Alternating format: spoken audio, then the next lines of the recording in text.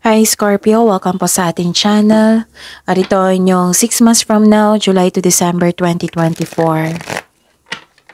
Please be reminded kung nakaresonate kayo, comment down. Kung hindi kayo nakaresonate, ibigay niyo po sa ipaka sa channel reading po ito. Gamitin ang reading na ito bilang kabay lamang. Please like, subscribe, and click bell button for notification para updated po kayo sa daily tarot reading natin. Maraming maraming salamat po.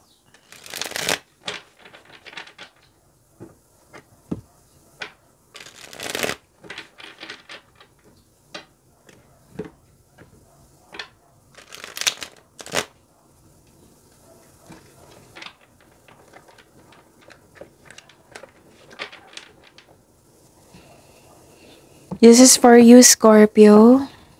Six months from now, July to December 2024. Ayusin ko lang yung camera po. Yan. Spirits Guide, kamusta po ang energy ni Scorpio? Six months from now, July to December 2024.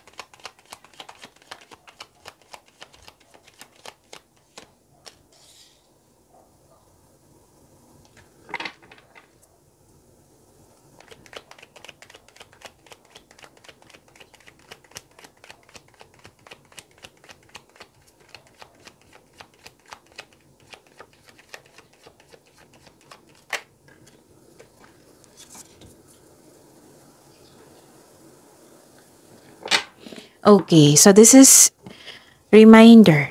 Please be reminded kung may nakita kayo, narinig kayong repeating message, kailangan nyo bigyan na ng atensyon, solusyon at aksyon. At sa mga nais magpa-reading sa akin ng 6 months from now, July to December 2024, pwedeng nakafocus sa career and money or general, katulad nito. So, comment down link paano nyo ako makontak. Comment down link, L-I-N-K, para mag-reply ako niya ng instruction kung paano nyo ako makontak. Okay? Maraming maraming salamat po. Okay, kamusta ang inyong energy?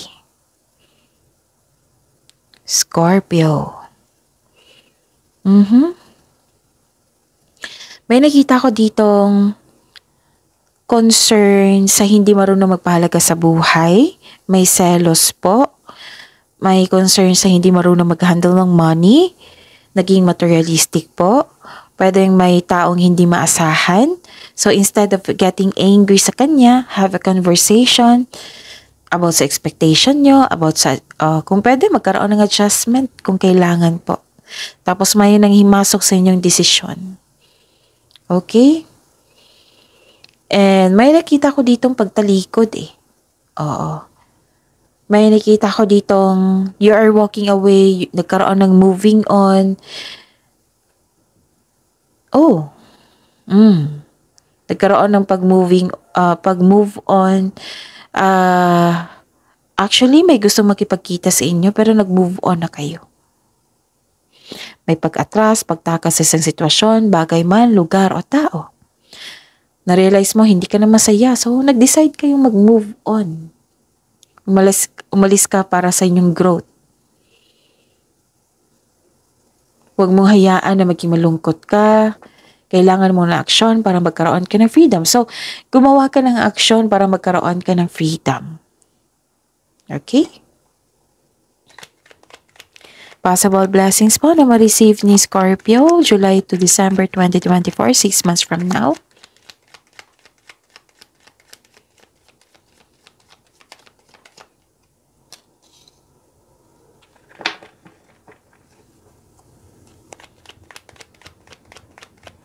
So, this is indeed na nangyari to sa lahat ng water signs.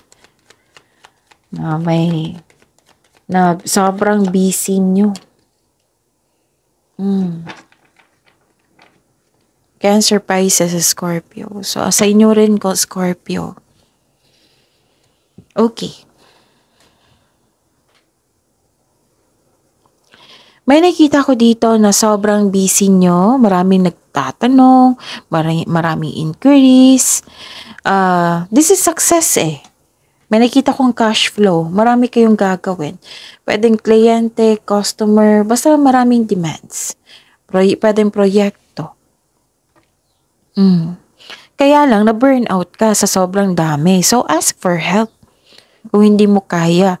Kung nagkaroon ng lack of self-confidence, be confident. Kasi bihira lang to dumating yung opportunity sa ating buhay. Kailangan mo ng mata- matalino naman kayo, masipag naman kayo Scorpio. So kaya nyo yan. Okay?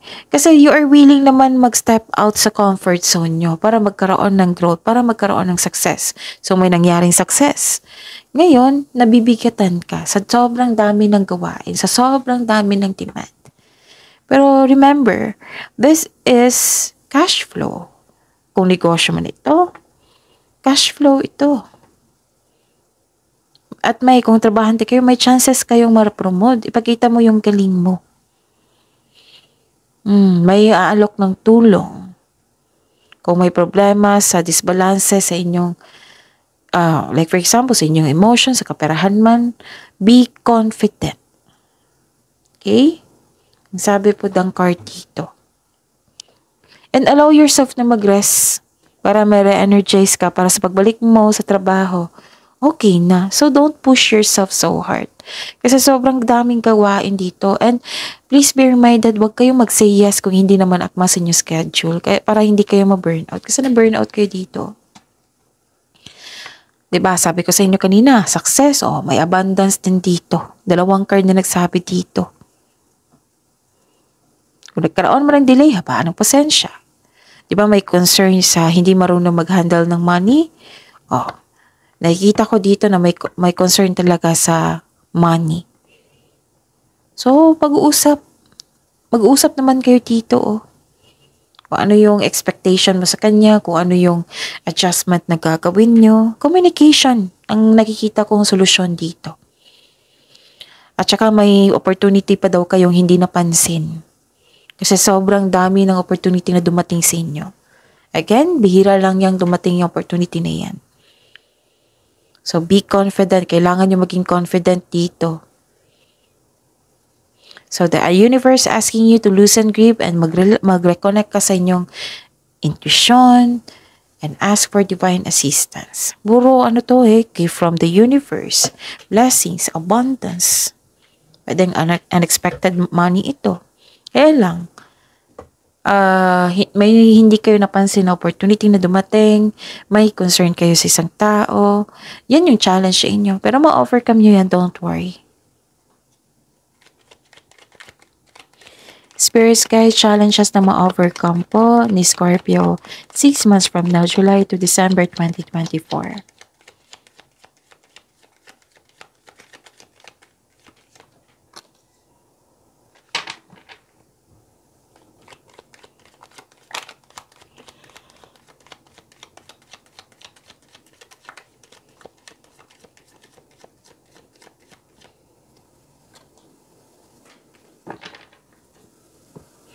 May nakita kong away dito. Mm, that is the challenge. Pero don't worry kasi ang tanong challenges na ma-overcome. May competition at rivalry po. Conflict.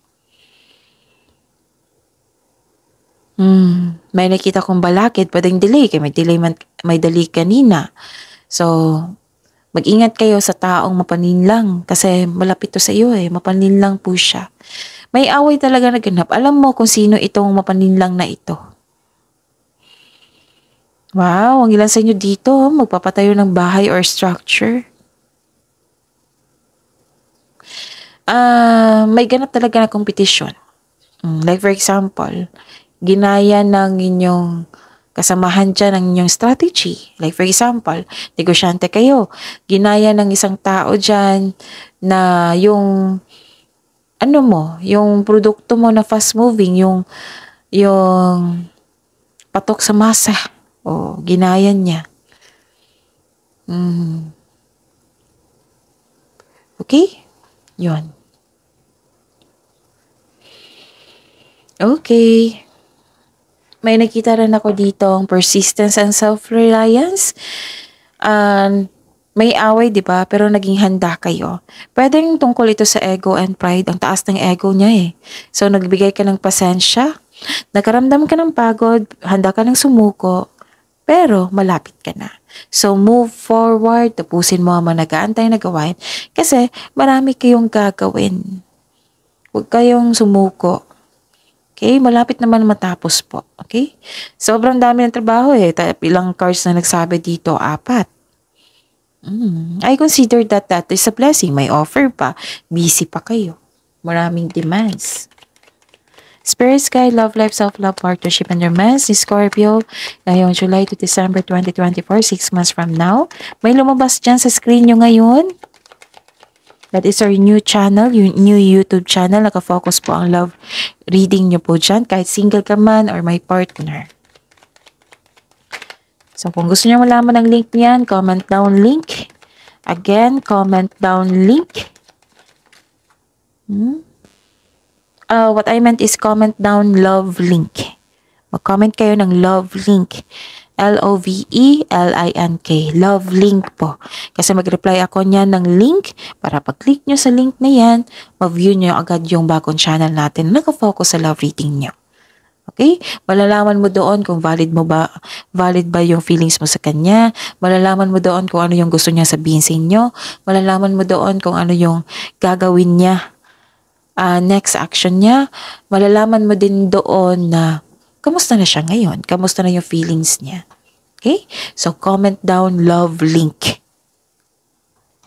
Huwag nyo lang kalimutan mag-subscribe at i-click yung bell notification para, para malaman nyo na may bagong upload tayo. Okay. May nakita ko ditong uh,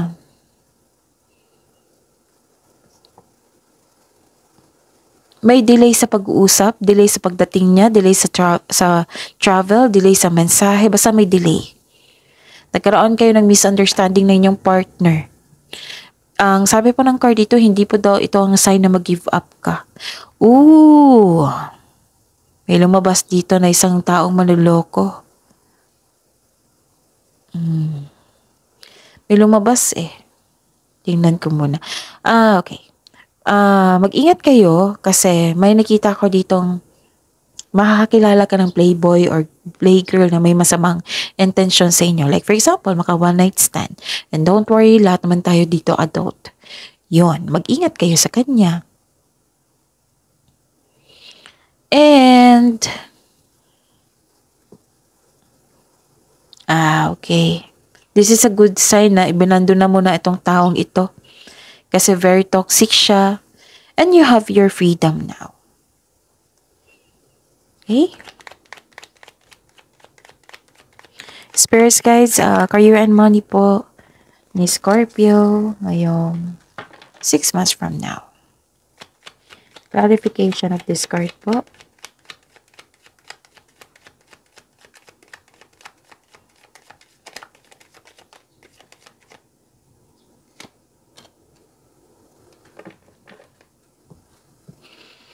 Okay.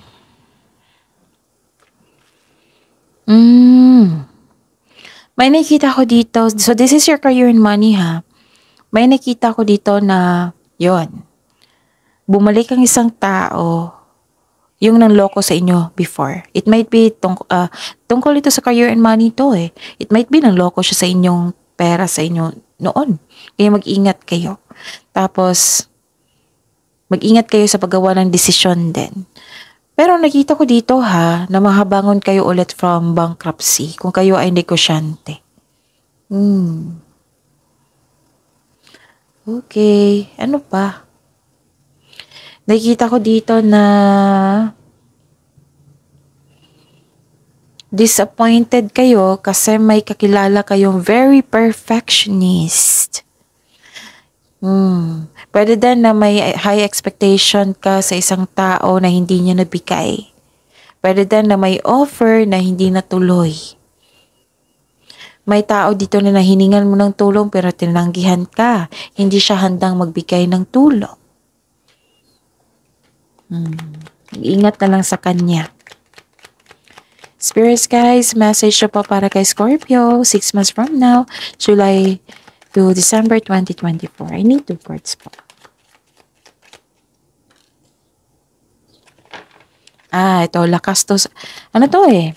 Anong tawag ito? Likas kay Scorpio yung magiging, ano tawag ito, generous. Kung may natanggap, di ba, may natanggap kayong blessings, may abundance pa, blessings pa, ah, sa, ah, success pa. Oo. Ah, ano eh, ah, nakita ko dito na may fulfillment sa inyong pangarap. Naka-receive kayo ng malaking blessings, kaya hindi kayo nag-hesitate na tumulong din sa iba. Okay? Kasi likas to sa inyo, Scorpio. Hindi lang kayo mabait, matulungin din kayo. Mm, halos lahat ibigay. Kahit masiro na kayo. Basta makatulong lang kayo sa inyong kapwa. Diba? Lagi ko yung sinasabi sa inyo. Kasi you are born to be generous. Mm. Pwedeng naka-receive ka ng regalo or tulong. Pwede din kayo ang nagbigay ng tulong sa kapwa nyo. Mhm. Alam nyo ba sa pag-ugaling ito, maraming kasaganaan ang dadaloy sa inyong buhay. Kaya nga, sa lahat ng signs, pinupush ko talaga na be generous. Kahit maliit niyan, be generous. Kahit ideas niyan, that is a blessings, right? So, share your blessings. Yan kung, yun yung pinupush ko sa inyo. Okay? Yon, so that's it. See you tomorrow, Scorpio. Please like, subscribe, and click bell button for notification para updated po kayo sa daily tarot reading natin. Maraming maraming salamat po.